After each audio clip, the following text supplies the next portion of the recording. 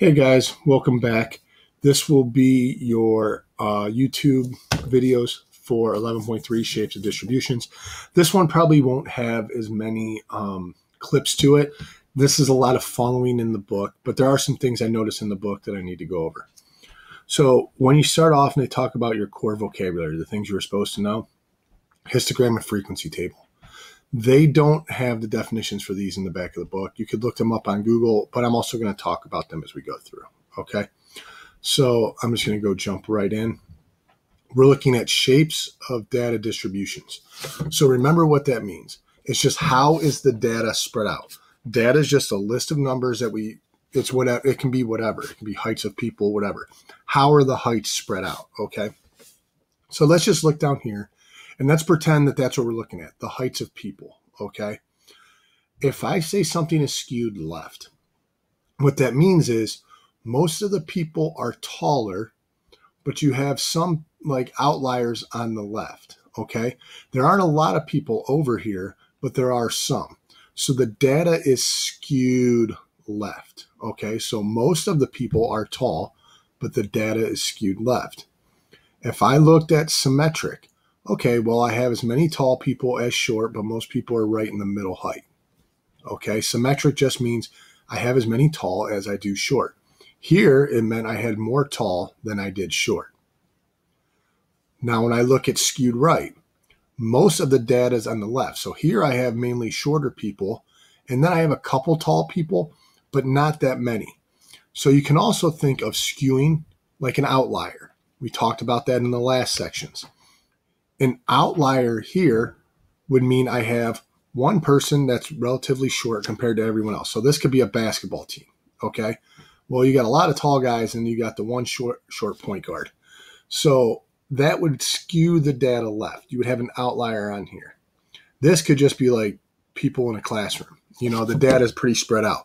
You have some tall people, you have some short people, but it's pretty uniform. Here, this could be um, for lack for something I can't think of really quick, jockeys. So most jockeys tend to be shorter, you know, riding horses. Um, so you have a lot more shorter people, but maybe you have one taller person, and that would be the outlier, and it would be skewed right because the outlier is on the right. So that's one way to look at it. Where the outlier is, that is how the data is skewed. Now, the study tip they talk about down here flat or uniform and I'm going to switch over to the hover cam really quick. Sorry, it's going to take me a second. So, what flat and uniform means is if you had, sorry, the camera's flopping it out.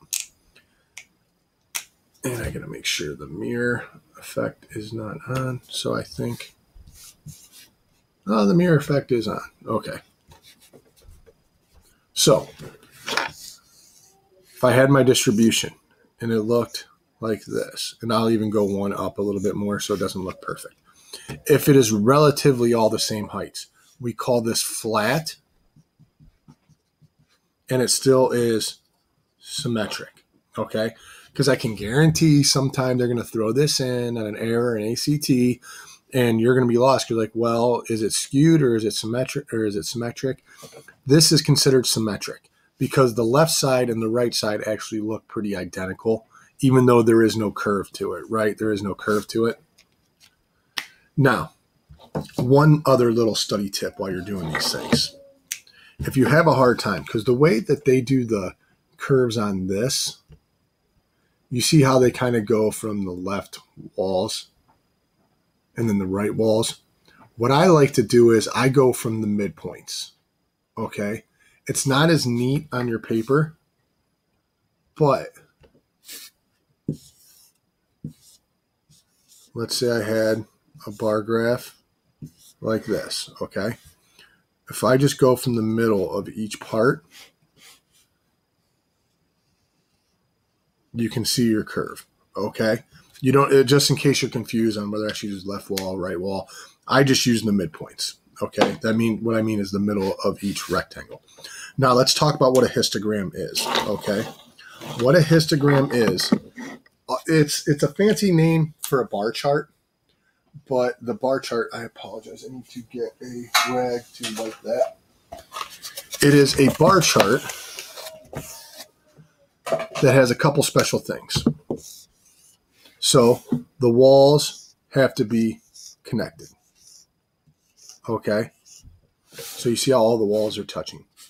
The x axis is going to be intervals. So let's say this is 0 to 3, 4 to 6, 7 to 9, 10 to 12, and then 13 to uh, 15. Okay. So this represents intervals of things. And this can be um, number of three pointers made by players. This represents how often they did it or how many. So zero to three three pointers made, two people. Four to six three pointers made, three people. Seven to nine three pointers made, four people. And then we're back here. That looks like three and a half, but let's just call it three because I was just making this up as I went. Then this would be two people made between 13 and 15 three pointers. Okay. So hopefully that makes sense on how to read a uh, histogram. Remember, all it is, histogram is a fancy name for a bar chart, but it has intervals. Okay. Now let's get back to looking at this. So hopefully this all makes sense here because this is going to be the first thing you're going to have to identify the name of the distribution. And all it does is telling you how is the data spread out. So if it's skewed left, we have an outlier on the left. Most of our data is on the right. Symmetric, spread out evenly, left and right. Skewed right, most of our data is on the left, and we have an outlier on the right. Okay.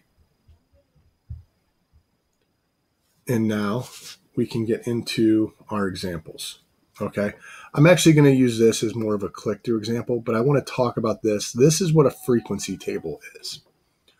All it is is a way to match up um, groups of people.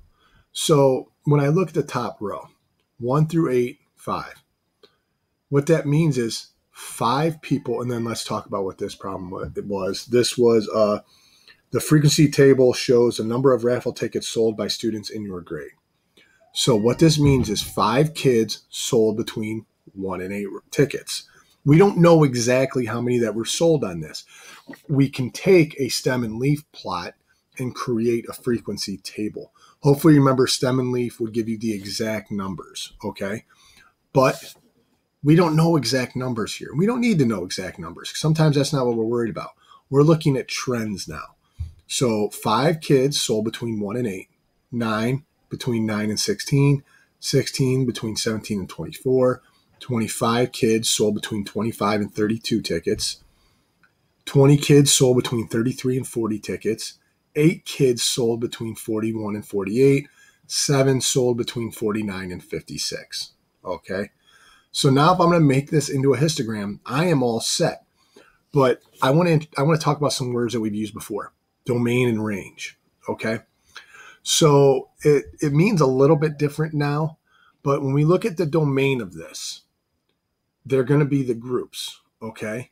So I'm going to have to have a bar chart. I'm going to need one, two, three, four, five, six, seven different bars. And that's a good rule of thumb. Try to stay between five and eight bars if you can, unless you have so much data. But if you get too many bars, you kind of lose the idea of what's actually going to happen. So between five and eight bars is pretty good rule of thumb. So right now, the frequency table. Oh, I apologize. I do not want him talking over me. I actually want to go through the click through example.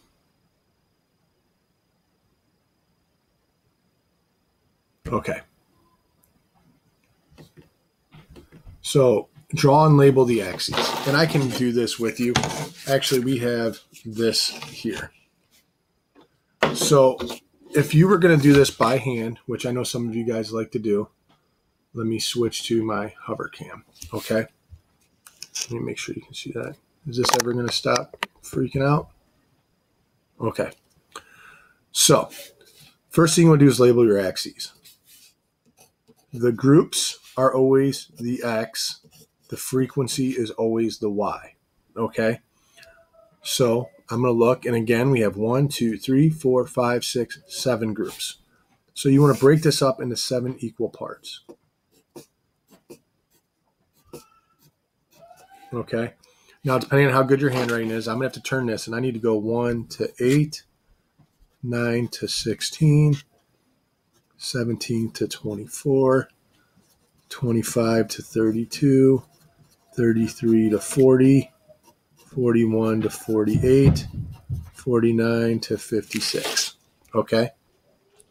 So now we have our x axis. So now let's look at our y axis though. The highest frequency we see is 25. So here it would not make sense to go 1, 2, 3, 4, 5, 6 because we would never have enough room on this graph. But if I have to get up to 25, let's think about what a good interval would be. If I went by twos, 2, 4, 6, 8, 10, 12, nope, still not there. So unless I just want to keep experimenting, what I can do is say, okay, I need at least 25. 1, 2, 3, 4, 5, 6. Well, 25 divided by 6, ah, that's a little bit more than uh, 4. So why don't I just go by 5s? Okay, you see how that was, that makes sense? 25 divided by 6 is 4 point something. So we're going to round up. So I'm going to go 5, 10, 15, 20, 25, 30. Okay. You could have picked other things. I'm going to try and zoom this in a little bit for you. Okay. You can pick other things. You see the computer does it a little bit nicer, but this is how I'm going to do mine. Okay. Now we just need to go in and do our bars. Remember, the walls have to touch. So one through eight tickets sold, we had a frequency of five. There's our first one. Nine through 16, we sold nine. So a little bit lower. And then we share a wall. 17 through 24 was 16, so a little bit above here. 25 through 32, 25, so now I'm all the way up here. Okay. 33 through 40, they sold 20, so I'm right on that line. 41 through 48, they only sold eight. So now I'm way back down here. Okay. 49 through 56, they sold seven. So slightly lower. Okay. And now that is creating a histogram. The only thing I need to make sure I do is I add in my labels. So this was number of tickets sold and this was just, you can just label this frequency.